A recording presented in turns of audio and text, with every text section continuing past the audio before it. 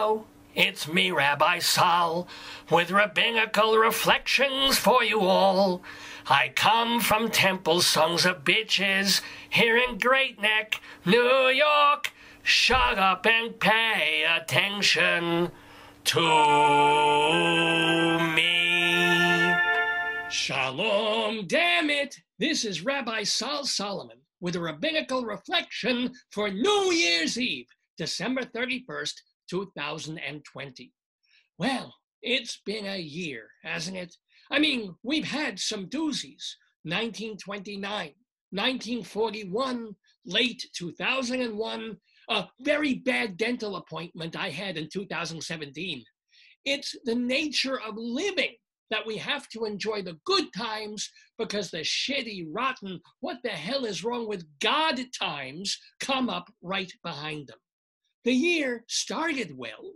The stock market was booming, so a couple hundred really rich people got really richer. And that trickled down to the rest of us because unemployment sank to 3%, which made it a terrible year for lazy people because now there was no excuse for not getting a job. Everyone was hiring. They weren't paying a living wage or decent health benefits or treating you like a human being, but you could get a job if you wanted one. Also, we felt kind of safe. Kim Jong un seemed to like Donald Trump, and the feeling was mutual. We killed an Iranian general by drone, and Iran went, eh, we got others. Meanwhile, American diplomacy was creating peace in the Middle East. Well, not the whole Middle East, never the whole Middle East, but Israel is now doing trade and tourism with Sudan, Bahrain, and United Arab Emirates. It's an Abu Dhabi honeymoon. Granted, at home, it was politics as usual. 117 BIPOC Democrats were running for president, which got whittled down to an old white guy, maybe a too old white guy, but Joe Biden picked a black woman running mate. And thank God for that, because anyone whiter than him and Mike Pence would hurt people's retinas. And through it all, the left continued to despise Donald Trump the right despised Bill, uh, Hillary, I mean, Obama, uh, anyone who doesn't like country music. President Trump was impeached. Remember that? Remember why? Because he allegedly solicited foreign help in the 2020 elections. The Republicans called that crazy and blocked an indictment. Months later, it's Trump who's bitching the elections are rigged, and it's the Democrats calling him crazy. If you ever thought the world was nothing more than a snow globe that Hashem shakes up and down to amuse himself, 2020 was your year. Harry and Meghan exited Buckingham Palace. England Brexited from the European Union. And Yuri Tolochko sexited from his blow up doll. Look it up. And of course, the world blew up in the middle of March. One day, a few passengers got sick on a cruise. A month later, the globe is closing restaurants, theaters, nightclubs, massage parlors, or so I've been told, and ordering everyone stay home, wear a mask, and don't get within six feet of another human being. Go figure. The Unabomber becomes a role model. And worse, thousands of people die. New York's Governor Cuomo herds all the old geezers into nursing homes where they do not get herd immunity. And Central Park turns into a MASH unit because the hospitals are full of victims on ventilators suffering from a malady the president once called a hoax. Where did coronavirus come from? You tell me. Did Wuhan mishandle it? Did someone undercook the bat they were making for dinner? Did swine flu go through conversion therapy? The only good news is that a disease no one heard of in March already has two vaccines to prevent it in December. Now, if you can just keep from coming down with corona when you're on the long lines to receive the shot, we be getting somewhere.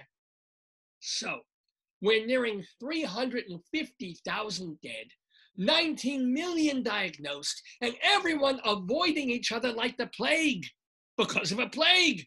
Everyone that is, except, I'm ashamed to say, Orthodox Jews who think Goyish rules don't apply to them. 10,000 of them show up at a wedding in Williamsburg where they sing, dance, eat, drool, and pull the garter off the rabbi's leg. Maybe my Jewish brethren think if they stay among their own kind, they don't affect anyone else, except the mailman, the doctor, the grocer, the funeral director, they say they're being unfairly targeted for just trying to keep their businesses open, especially since the media simultaneously glorified Black Lives Matter protests, which weren't exactly masked, socially distanced, or peaceful. To be fair, Schwarzes had a lot to feel violent about. They didn't come through 400 years of slavery and oppression to ignore a policeman crushing a suspect's neck, or a bunch of other hinky deaths of unarmed perps who just happened to be the wrong color. And even more deadly than rogue policemen, murder hornets. Have you heard about these things? Along with COVID, the Asians have given us flying, stinging insects that are killing off the flying, stinging honeybees to keep our ecosystem going. And since we're talking biblical catastrophes, locusts devoured all the food in East Africa, wildfires burned up half of California, and cats became a major motion picture. This was the year Hamilton came to Disney, Tiger King came to Netflix, and Harvey Weinstein came just enough times to put him in prison. Aunt Becky from Full House also went to prison, although for some reason the writers of that show did not. 2020 was the year we lost Sean Connery, Kirk Douglas, Diana Rigg, Olivia de Havilland, Eddie Van Halen, John Prine, Tom Seaver, Whitey Ford, Terrence McNally, Toots Hibbert, Terry Jones, Buck Henry, Carl Reiner, RBG, Squiggy, Regis Philbin, and Jeopardy's Alex Trebek.